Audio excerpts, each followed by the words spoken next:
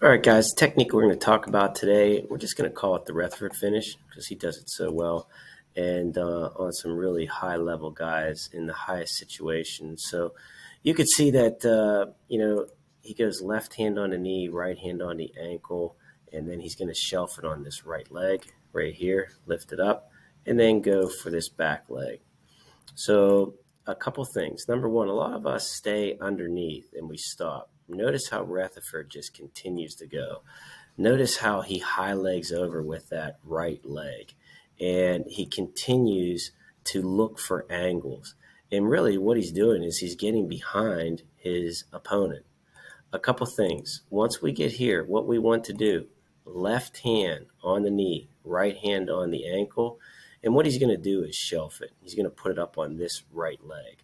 So as soon as he pulls it up, he's shelving it.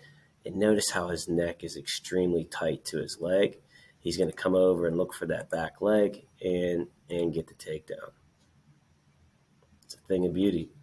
All right, let's let's watch him get another easy takedown here. And this is in the you know national finals, and after this guy just took him down. So you're going to see he's going to get in on, on a leg attack and notice how he never stops moving. And what, what's he looking for?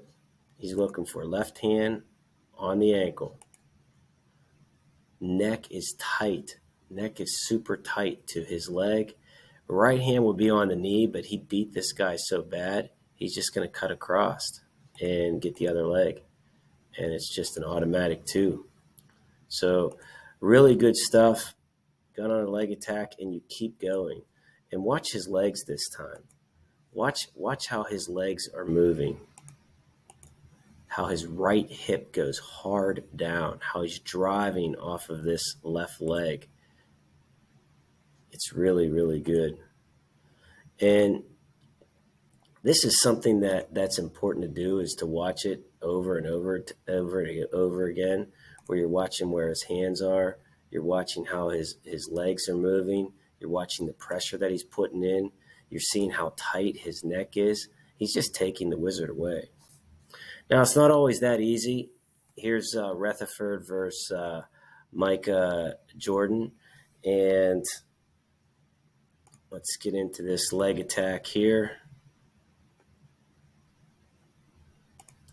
And this time, Micah uh, got the, uh, the, the shin whizzer in here.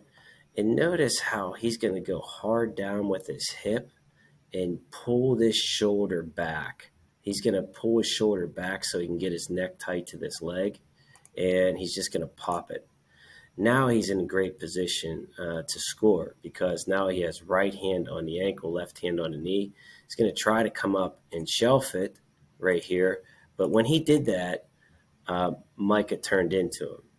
And so he adjusted. Now he came back and went for a double to take him down. So really important sequence uh, here. When once number one we got the got the single, and then number two, instead of driving up into him, we're gonna go back. Watch this left hip come down. And when that left hip comes down, we're going to be pushing this leg out. And this shoulder is really, really pushing to get, you know, his neck close to that leg. And so once he pops it, now he's in a great, great uh, position. Normally, what would happen is he'd shelf and get the back leg, but Micah turned his, his hip into him right here to get into like a crackdown position, try to push his head to the outside, and then we got into a double. Really good stuff. The next one is uh, Logan Stieber. So, you know, this is this is when Retherford was a freshman. So this is this is pretty cool that he's a freshman beating a three-time national uh, champion, uh, and, and, Logan ended up being a four-time national champion. But I mean, this guy's good. Uh, so here's what what we're doing. He's getting in on a leg attack right here. Look what he's doing. Left hand on the ankle on this shoe. Right hand's on the knee. But you can see Logan Stieber is, you know, extremely flexible. So he's just trying to transfer over into like a John Smith low single where you put your head on the knee, right hand on the ankle, and your left arm would come over here uh, to, to take him down. But notice how now he came back. So he went he went on that that like John Smith low single. Now he came back to it.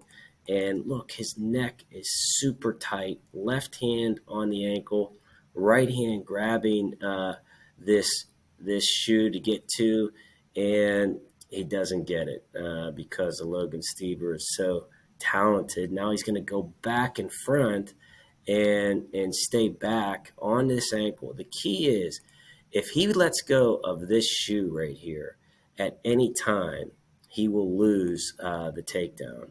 And you can see now. See, he's making a transfer to the left, and you, now Logan is bringing that leg in. And I want to show you guys that. Uh, watch him bring bring that that. See, he's bringing this in. If he doesn't hold on to this, he, he'll lose the takedown. But he keeps that, and now it goes back to the right hand on it. He always keeps that ankle, and then he ends up getting two. Uh, was an awesome match uh, there as well. All right, let's show you some uh, some other guys.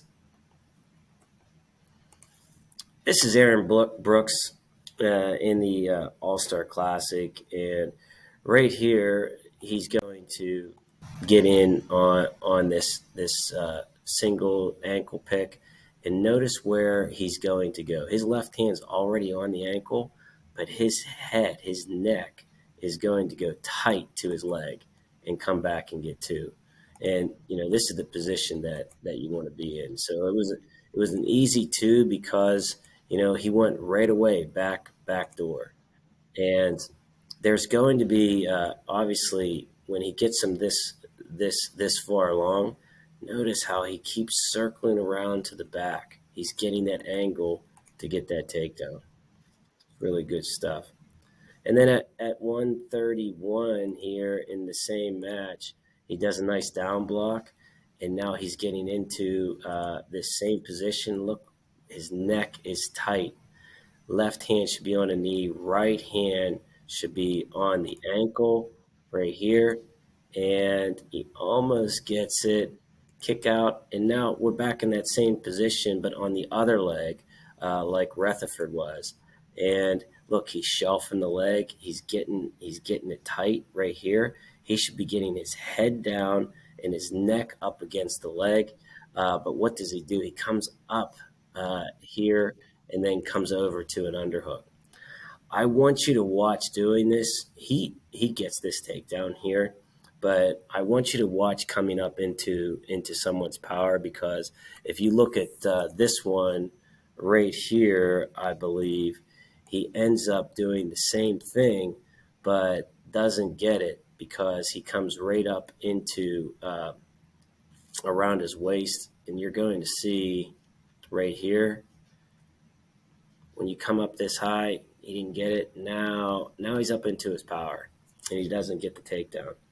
So I think it's important that that you keep going back and looking for that leg. I, it feels natural that you should be able to come up here, uh, but it, uh, it, it's coming up into the guy's power. And you know, here's here's Aaron Brooks uh, again uh, in that same same position, and let's see here. He gets in on a leg attack, and man, he just missed it. And this is the best way to do it, guys, is to come back and get it right away. Circle back and get that back leg right away. You know, his neck should be tight to that leg, left hand on the ankle. And then here he missed it. And then from right here, at this point, he should actually go back down and do what Retherford did to Michael jo- Micah Jordan.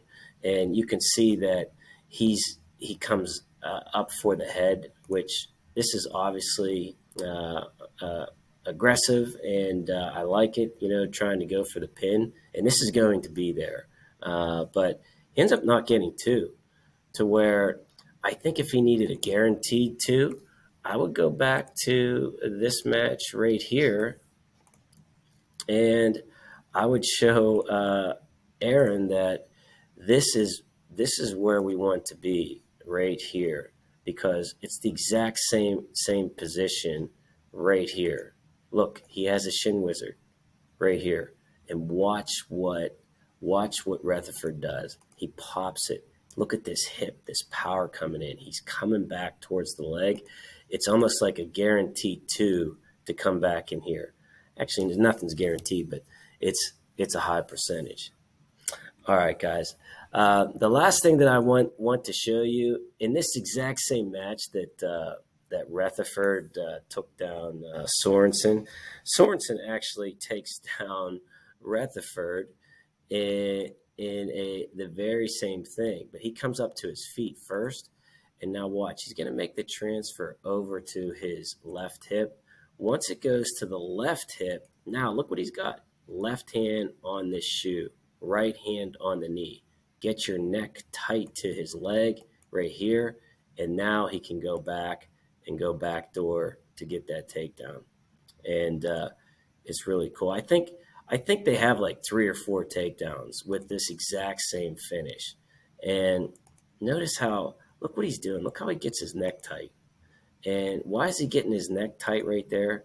Because when you get in here, there's there's no whizzer to be had. Look, his elbow's in right here. He can't get he can't get a whizzer. Everything's tight here. And you know that's that's why it's such a, a great finish. And you know i always like to show old school. And this is you know one of my favorite matches. This is doug schwab and chris marshall. And doug schwab's national champion. He's awesome. And chris marshall is all-american. He's awesome. But look what he's doing.